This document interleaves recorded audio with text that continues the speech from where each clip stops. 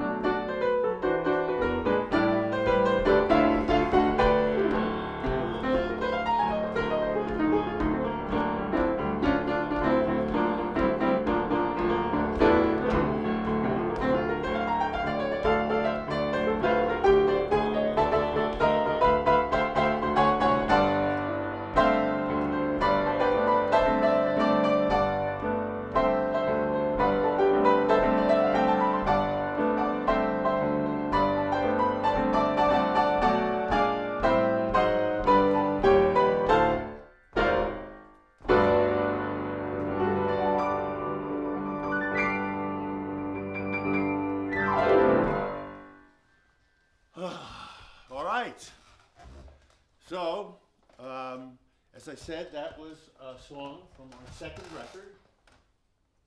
And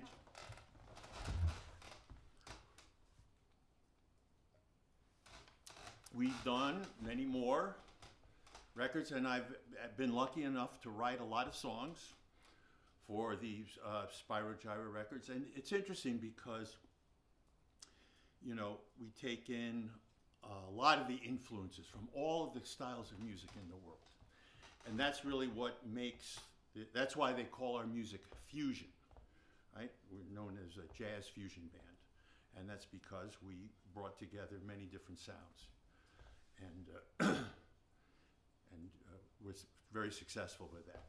So actually, I'm going to do uh, play for you another song that I wrote for Spyro Gyra, and um, this comes from a dream that I had when I was sleeping by the ocean in Brazil, and these beautiful chords came into my mind, and I used those chords are the basis for this song, and uh, because it's a dream, I call it the Portuguese word for dream, which is sonho.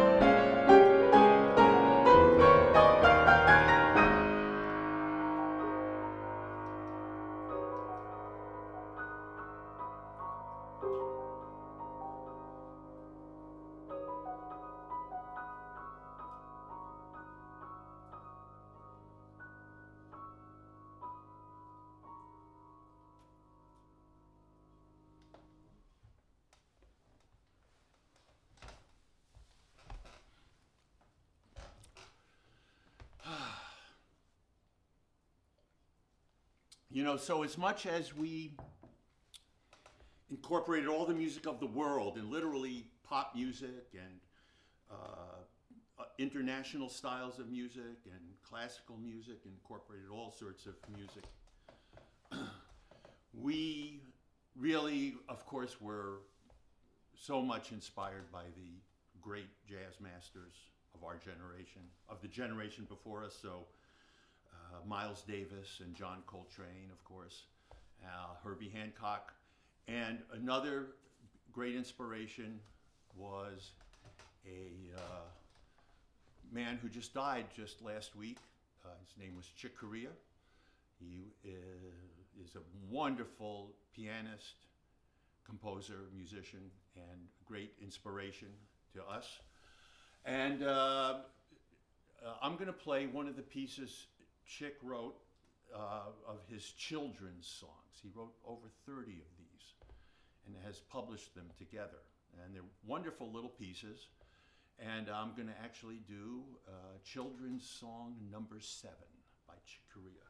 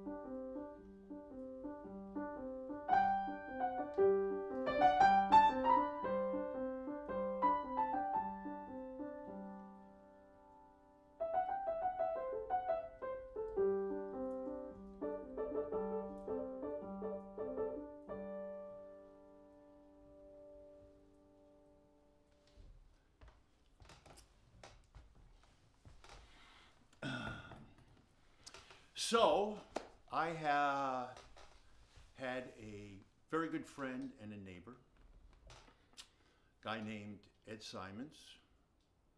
And uh, Ed uh, was a wonderful uh, musician, uh, violinist, and conductor, and you know a leading light in our community. And Ed had a vision think over 60 years ago. A very simple and powerful idea that every child should be able to receive good quality music lessons. And this is where the Rockland Conservatory was born, of course, and has done such a fantastic job over the last 60 years plus. So I'm going to play a piece that is actually one of Ed's very favorite pieces, and I dedicate this to our great friend uh, Ed Simons and especially to all of the wonderful people who have done such a beautiful job of maintaining Ed's vision and keeping the spirit of Rockland Conservatory alive. And you know who you are. Thank you so much.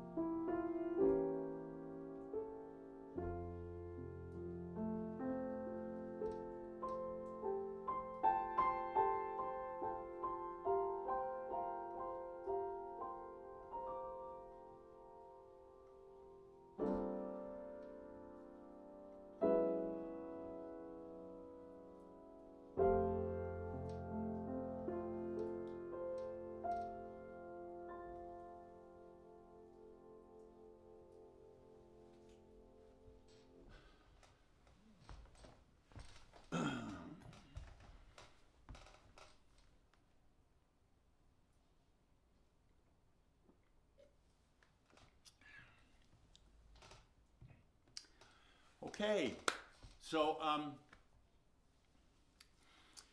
um, you know, I had a, a very lucky experience when I was uh, 10 years old. Um, I had been studying piano since I was six, and um, and it came easily to me. And by the time I was ten, I had actually played, you know, a number of the pieces uh, in the repertoire. And I happened one afternoon just turn on the TV and find myself watching the great classical pianist Vladimir Horowitz performing at the White House for President Kennedy and Jackie Kennedy. And uh, I was stunned to hear how uh, beautiful the music sounded. And then I heard him play a piece that I myself had played, a Chopin waltz that I knew that I'd played. And then here I'm hearing Horowitz play this. And of course, what I realized from that is that you know classical music is really about so much more than just playing the right notes. It's really about bringing a sense of uh, drama and passion and using sound as a way to you know communicate.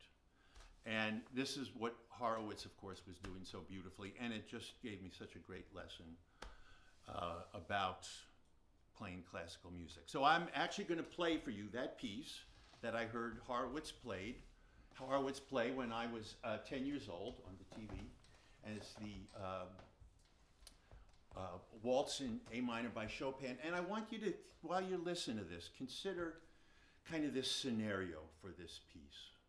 All right, an old man lives in the mountains, has had a hard life, and thinking back on his hard life. And, uh, but then he thinks of the joyful times, the good times, the happy times. And then he remembers when he fell in love and felt the passion of love in his life, but that love turned sour. And he returned back to his uh, memories of his difficult life. He has one brief chance at the end to think of the great magnificence of life, but then settles in the end back to his uh, disgruntled state of mind. All right? So, check that out. And uh, this is Chopin Waltz in A minor.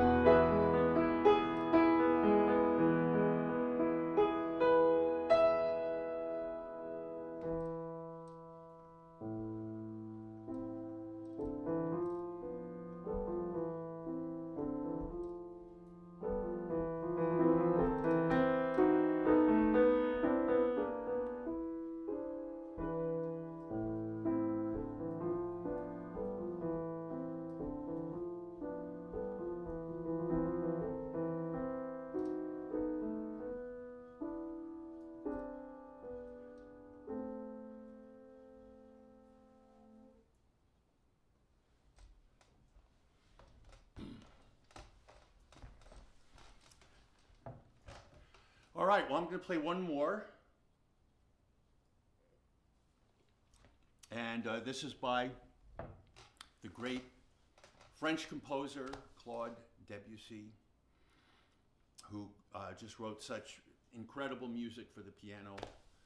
And um, so this is a piece he wrote that just so texturally interesting and so colorful. And um, it's called Gardens in the Rain, and really what it depicts is a weather event. All right, it starts with a light pattering of rain, and then eventually becomes stormy, right, and interesting and dramatic and stormy. Then it kind of goes into this sort of hazy drizzle, and then has a, just a beautiful, dramatic conclusion where, of course, the sun comes out. So please uh, enjoy this uh, Gardens in the Rain by Debussy.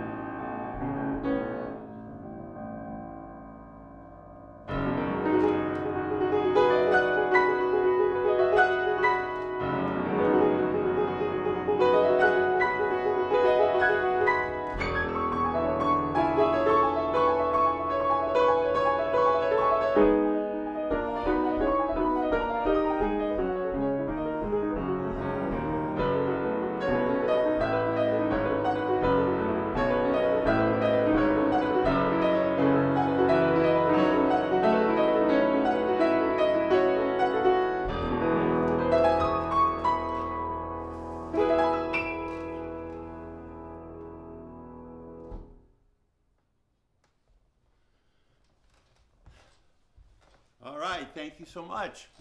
What a pleasure it has been to play for you tonight. Uh, and once again, I thank all the folks at Rockland Conservatory, all the great work that they do.